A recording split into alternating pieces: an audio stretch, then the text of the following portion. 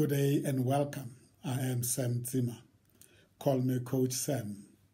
I'm glad you have found me and I'm looking forward to becoming your coach, partnering with you on your professional development journey, achieving desired results.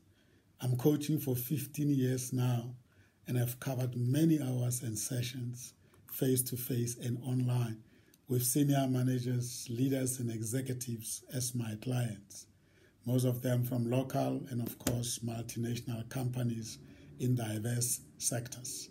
I'm applying my transformational and change management coaching model called the Mind, the Journey, the Destiny. Let me be your thinking partner, addressing the various topics and challenges you may have, and then, of course, achieving uh, those actionable steps and making impact.